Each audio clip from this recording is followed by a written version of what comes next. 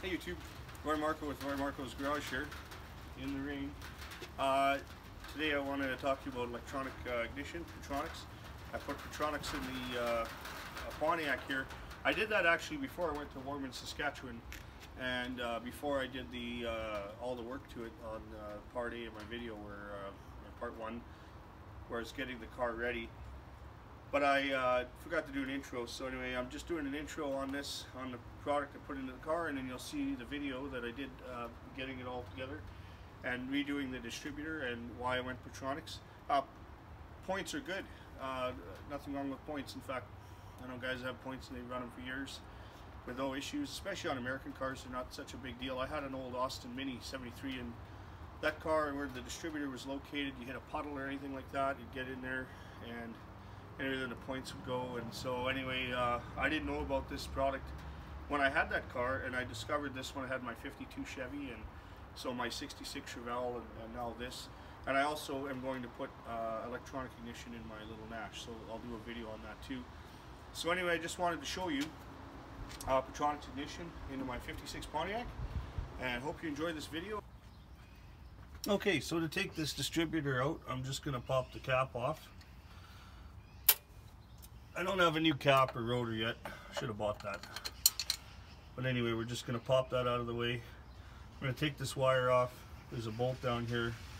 And we'll get this whole distributor out. The reason I'm taking this distributor out is I want to uh, just clean it up. Uh, I noticed this bottom plate here is a little loose. So to tighten the screws, you got to tighten them on the sides. And I can't tighten that one without pulling the distributor. So we'll pull this one out, clean it all up, paint it so it looks nice. And there's a little grease cup I want to show you on these distributors you want to clean up. These distributors also turn for vacuum advance and uh, there's a vacuum pot down here and they will turn the whole distributor instead of inside. Vacuum line hooks up to the uh, carburetor, base of the carburetor. So I get some tools and I'll be right back. Yeah, so we're just going to undo this nut here. Also, I want to note the orientation of the rotor so I don't have to find number one again. And uh, important thing about these distributors, they also run the oil pump and same with some other ones. But on this car, you can actually, on these engines, uh, the 216, the 235s, and the 261s, is uh, you can um, not drop it in all the way and still tighten it up. And the car will run, but it won't drive the uh, oil pump. You don't want to ask me how I know that one. Then we'll take this wire off, coil. This wire can come completely off because we're not going to use it again, so we can get rid of this completely and then uh, pull this distributor. Okay, so I just got the uh, tool here. We're going to get rid of this wire. I'm also going to replace the coil on this uh, vehicle because uh, I might as well. You can use a standard coil as long as it's around 3 ohms um, on a 12 volt coil. So being a 12 volt coil, this coil that's on the uh, on this 261 right now is uh, drop voltage coil. It uses a, a ballast resistor. Uh, so we're just going to put a straight 12 volt bypass the ballast resistor and it's just one less thing to leave you stranded on the side of the road. Like I said I like to drive these cars. I want to make them reliable. We can pull this coil wire out of here. Uh, since we're going to pull that coil off I'll get this distributor out. Distributor pulls straight up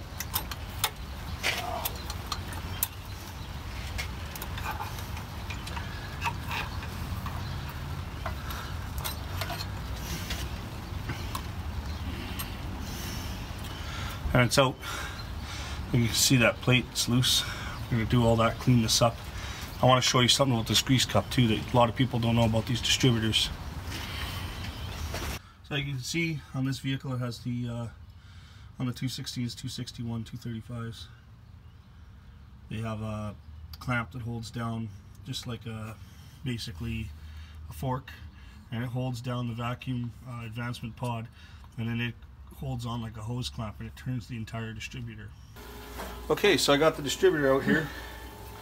What I'm going to do, this shaft is in pretty good shape. There's no uh, play in it.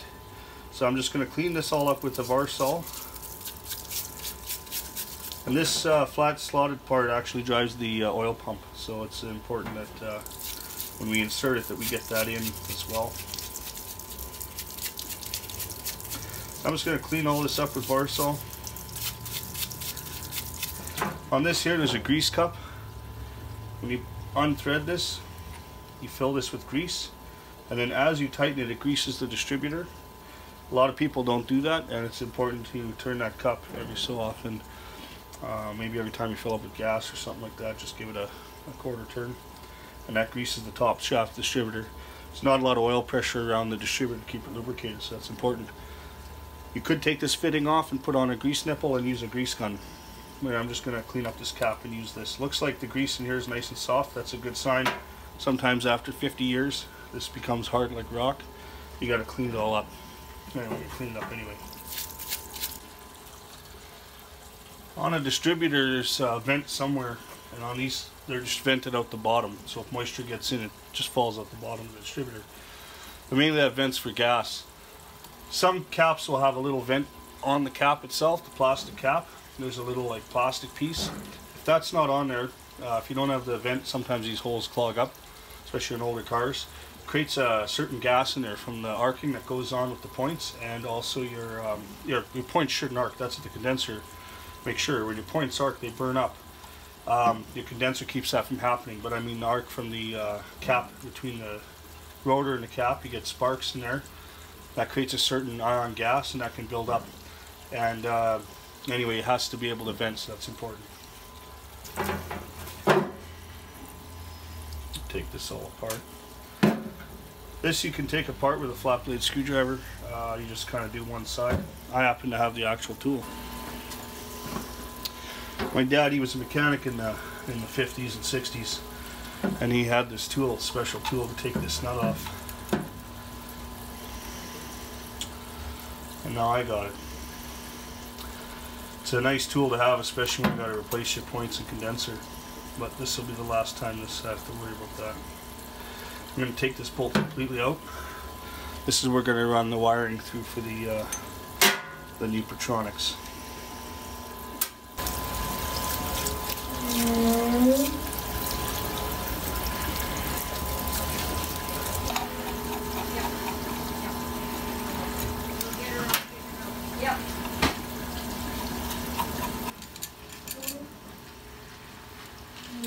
I'm just cleaning up the top of this um,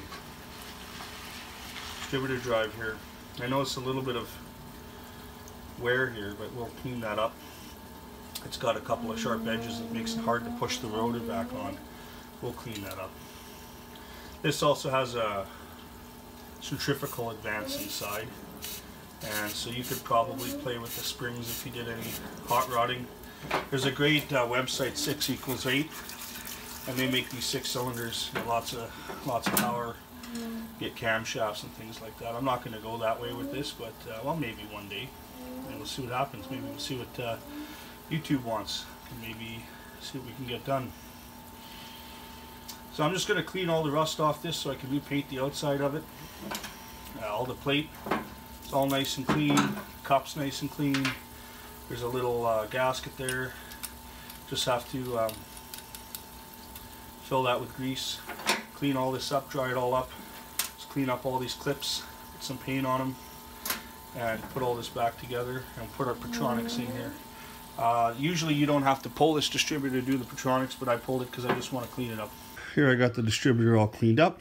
I used a wire brush and uh, cleaned up all the rust and dirt, everything off of this with the Varsol. And then I put this section, up putting this in the lathe I should have showed you that. I just chucked it in the lathe and gave it just uh, with a little bit of a sandpaper to file just to clean up the edge.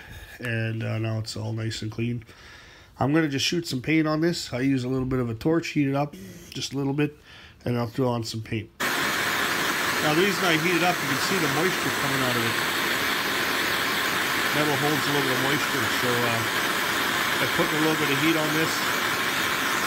I'm not heating it up that much. Just want to heat it enough to make sure that it's dry. The paint will stick. The paint will dry fast. And I can uh, start working with this thing right away. This is sort of a wheel paint. It's a nice little cast color. And uh, we'll blow that on. And it looks super nice. It'll look like fresh cast. Kind of like if it rolled off the factory. Uh, I don't know if these distributors are painted. If they were, they're probably painted black. But anyway, I just thought that would look nice. Just give it a little shot here. so here we are. We have our distributor all cleaned up and painted. Now, you don't have to take your distributor out of your car to put this in. I just figured I'd take the time to clean up this distributor. Uh, one of the main reasons too cleaning up this distributor is this uh, grease cup. This grease cup, you fill this up with grease and you tighten this down and you get it about there. When you start tightening this, grease will push out the end here, gets threaded back into the distributor and every so often you open the hood, you give that like half a turn and it greases the distributor. This distributor does get a little bit of oil from the engine but not enough so you got to grease it as well. Like I said, you could thread in a grease nipple with an adapter probably and use a grease gun. Give it a shot every so often. But this cup, uh, every time I maybe fill up with gas, give it a half turn. And then every time you change the oil, you refill this cup up with grease. just something not a lot of people know about these distributors. Um, and a lot, of, a lot of people do know about it. So I'm going to fill that up with grease. I use this uh, just Lucas Red and Tacky wheel bearing grease. There might be a better grease out there. Maybe uh, some people would recommend using white lithium or uh, there's probably all kinds out there. But anyway, this is what I use. So you just level that off there. You'll notice when I tighten that in there, it'll come out. See, just like under hydraulic pressure, just like a grease gun. So uh, anyway, we'll thread this in and then we can uh, clean this up, put it in the distributor. Also, I got the base plate here. Uh, I was missing a screw here, third screw, so I went and bought some screws. I got some brass ones. Uh, they're slotted to look just like the original style screw, but they're brass. They won't, they'll look nice. These are stainless lock washers. And uh, clean off my hands. This is the uh, Petronix ignition kit for this engine. Uh, this is uh, 1168LS is the part number. This one I got for about $149 uh, my cost, but this retails, this suggested retail price here in, uh, in Canada is $157.99. When I first started using these, they were like 50, 60 bucks. They just went up. They also make an Ignitor 2 version, which uh, apparently has something to do with uh, dwell. You can change it and things like that. I had uh, somebody with an MGB saying he wouldn't put one of these in because the points he could dial in as dwell and have better performance. But I've always been happy with this. If you want to keep points, there's nothing wrong with them. They were, they're pretty good. If you're going on a long trip, it's a good idea to have an extra set with you. Anyway, uh, for me, I want to install this. So in the kit, you get this uh, plate that screws down your adapter plate. And they changed, they used to have a little exciter ring that went on, but now it just uses the lobes off of the, uh, the cam inside. So that's kind of neat. It's just less things. And then it has a couple of eyelets, which I like to solder on, and I change the wire length to when I get in the car. So I'm not going to uh, cut the wires yet uh, or put them on yet. And then this has a little rubber grommet that pulls through and goes into the uh, distributor hole where the old plastic uh, piece went that remember I took out with that tool. And this kind of pieces I like to keep if they're in good condition because maybe somebody else needs one down the road or maybe I want to go back to points for whatever reason, I don't know. Usually not, but anyway, it's a good idea to keep this stuff. Somebody needs it. They're restoring a car. They want to have it. I keep that stuff around. Old points you can toss in condenser. Uh, putting this uh, grease thing in here. I just have this up so the paint would dry. There's a little spring that goes in into where the grease cup goes. And then this threads in. And then I'll use a wrench and tighten that. You don't have to go too crazy with it. Okay. Turn that, that's uh, hydraulicing the grease through there on grease gun. Turn the shaft. See a little bit of grease coming there.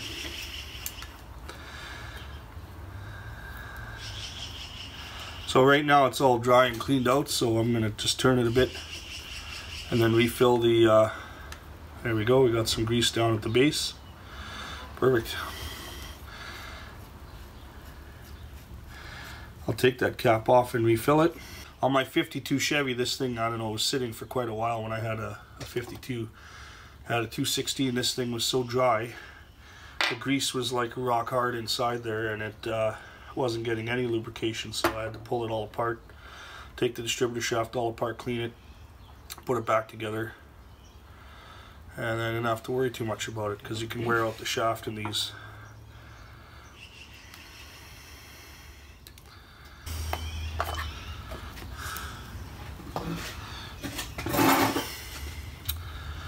Now we're ready to install our base plate. And to do that, take out these screws. I say, it was missing one, and that's uh, why it was loose. It has three screws in it. So I got new ones here. Now, this in here.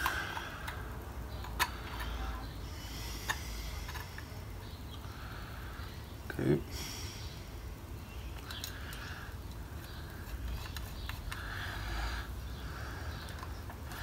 So put this one in first. And the other two, we don't want to tighten it right away because you want to be able to move this around. We just got to keep it loose. Move this around to get the other two in. The other two have these clips to hold the distributor cap on and these little clips that hold these in place. Okay, so you take this, got a round uh, point, round part follows the curve of the distributor, clip goes up, this faces down, gets installed like that on the distributor. Side in.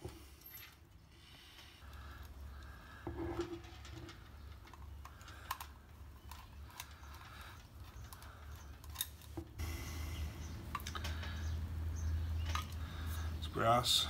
You don't have to go too crazy with how tight they are, but you want them nice and snug.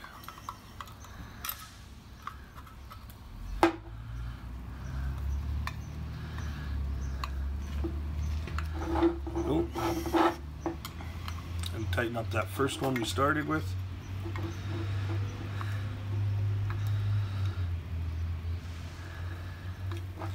Boy, that looks nice with the brass screws with things different colors it gives nice detail. Okay. These screws will pop out. This is holding down the uh, condenser.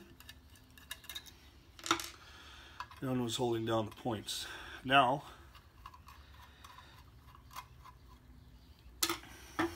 with the new Pertronix in here this just slides on like that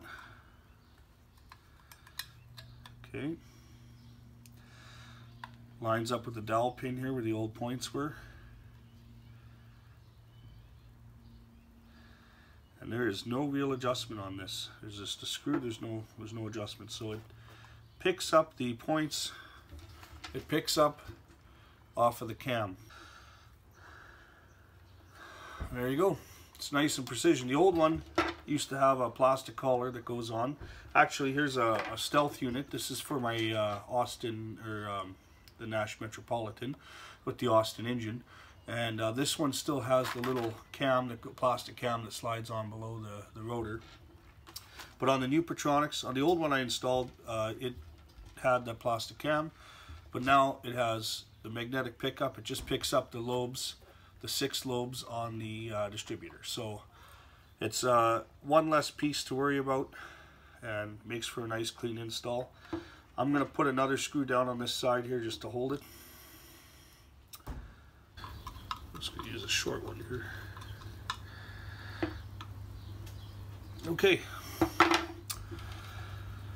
Yeah, I just worried this uh, my screw might be too long and run into the uh, in, into the uh, flyweights down there and uh, centrifugal mechanism. That would be horrible disaster if that happened. So, okay. So there we go. All together. Now we just have to take these wires and we feed them through here. And it comes with a grommet on here already. So. Okay. All right. We'll just hold the grommet, pull the wires. We'll just go on this side of the brass pin. We don't want to have any stress on those wires, just nice and relaxed in there, just like that. And then our rotor is ready to go on. Should have bought a new rotor. Okay, it has a little notch inside that lines up with this groove on here and that's it. So we are now ready to reinstall this distributor back in the car. Okay, one of the tricks I like to do on the wire, this is heat shrink tubing. I cut little pieces and uh, I put them every so often to kind of keep the wires together and then I'll heat shrink them and it'll just look a little neater, keep the wires together.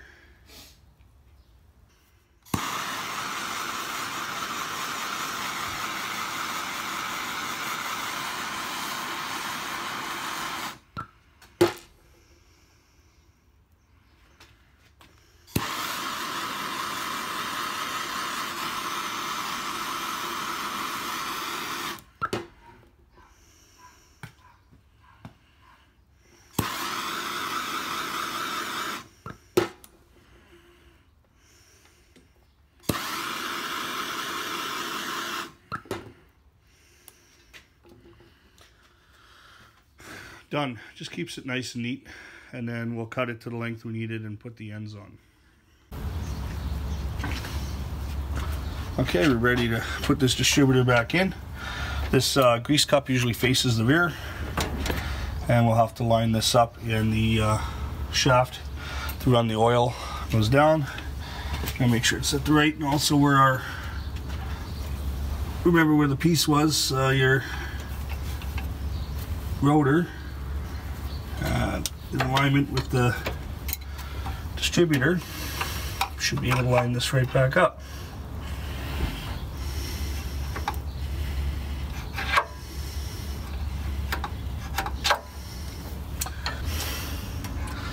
Okay.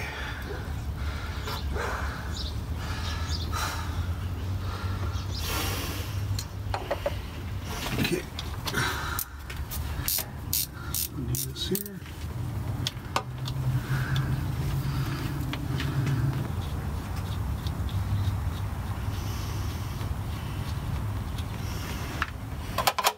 Okay, here's the coil.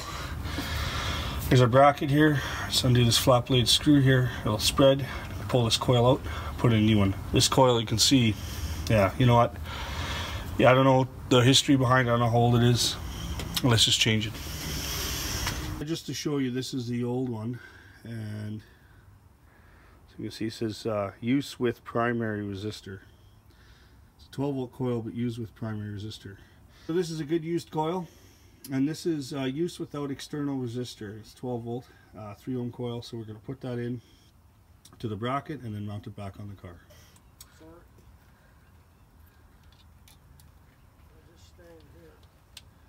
I'm going to bolt this on. Also another note, you don't want to over tighten these coils in the brackets. You can uh, squash them and then uh, you can wreck them. So just snug them up enough so the bracket holds the coil without uh, squashing the case. Nuts on.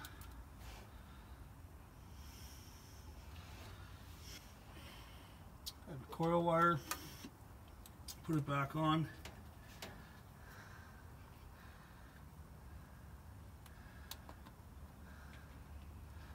Okay, one last thing we need to do is bypass that resistor.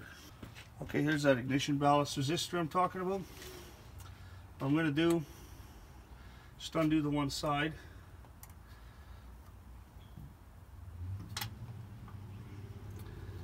Do the other side. And then slip this wire in with it. I'll uh,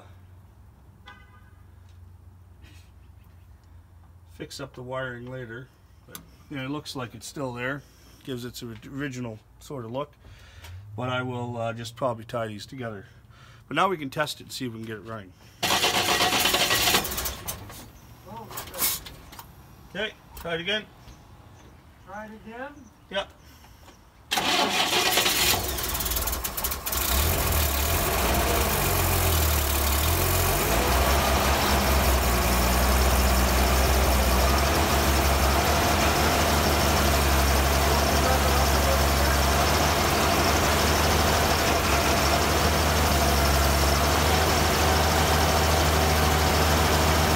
So there you have it.